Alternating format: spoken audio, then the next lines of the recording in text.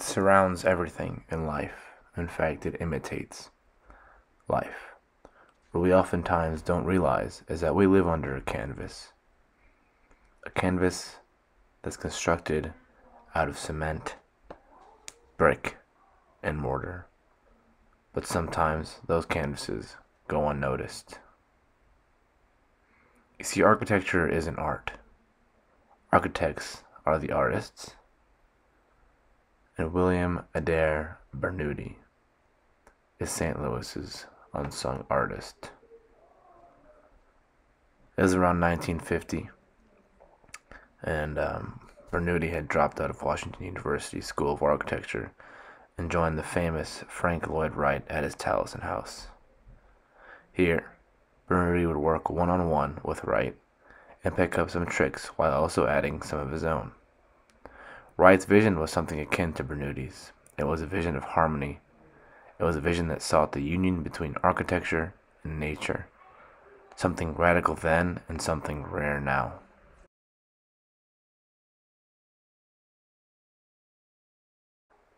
Throughout the years, architecture has been a sign of the times, ranging from the Greek to the Gothic eras. Architecture and its types speak volumes about a society and its influences. St. Louis, like any city, has its own architectural story, characterized by heavy German, Victorian, and now recently, more modern styles. St. Louis's architecture, besides some few hidden gems here and there, has really been astonishing or unique in any facet of the scene. In fact, I believe that St. Louis architecture is lacking.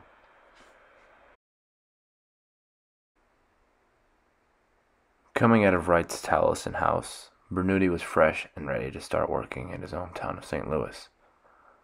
You see, ranging from houses, churches, colleges, and even sculptures, Bernoudy did it all and did it uniquely adding his own taste to St. Louis architecture. While there aren't many physical or online resources about Bernoudy, there still exists a handful of passionate experts on this subject. So for now, let's go take a trip to Bernoudy's own home, where we'll meet our first expert.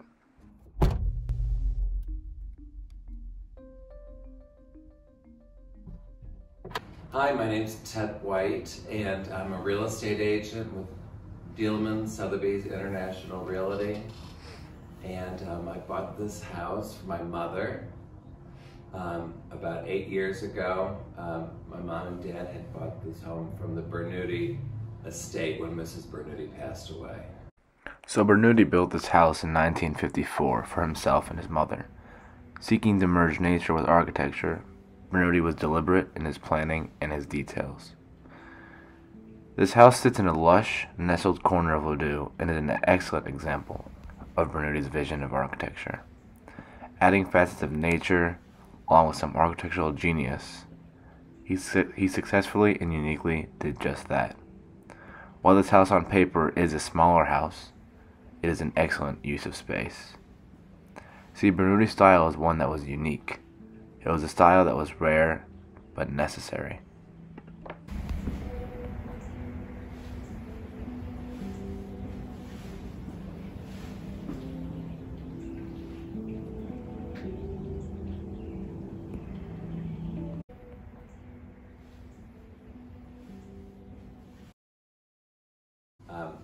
You know, before I would have said, oh, it's just another ranch home, you know, which I always, you know, people always thought, oh, ranch homes are just like plain and, you know, uninteresting.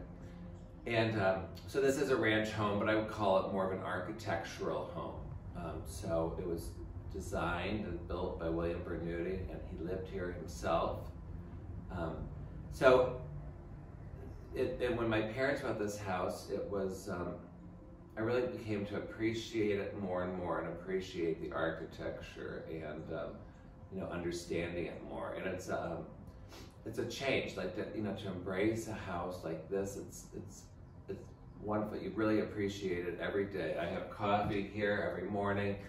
I look out to the windows that go into the yard um, every day.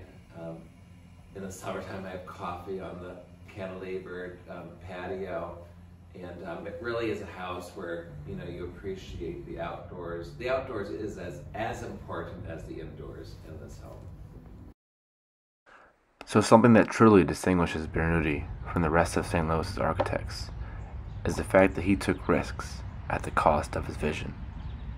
See, he always circled back to his vision of union and balance. But how did he do it? William Bernoudy was probably, I would say, is probably like the premier architect in St. Louis. He studied underneath Frank Lloyd Wright and um, came to St. you know, started his plan in St. Louis, building many beautiful homes. This is a smaller home compared to some of his bigger ones that you'll find throughout Ladue and surrounding areas.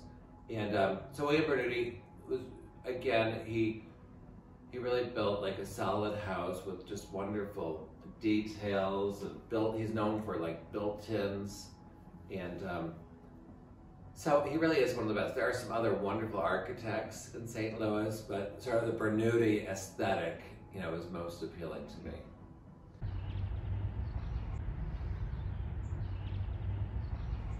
Bernoudy's aesthetic is most definitely an appealing one, but what about it makes it so drawing?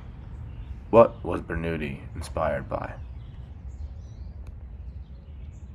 With this, I would say Bernoudy um, really took a lot of influences from, you know, Japan, sort of Asian influences. You'll see it in some of the details throughout the house. Like there's, you know, little Japanese um, scrolls on the door. Um, but it's also the sort of some of the philosophies from Japanese um, homes of not only bringing the outdoors in, but also like a shared view. Like you'll see again that, you know, I share a yard with my neighbors. So it's a nice long, and that's an Asian idea of a shared view. At the time, and even now, more and more people are focused on having big, flashy homes with no true design or purpose. Bernoudy did the exact opposite of that. He sought to bring concise, meaningful work into architecture. Design, as you can see, is more important than just having big windows and an open floor plan.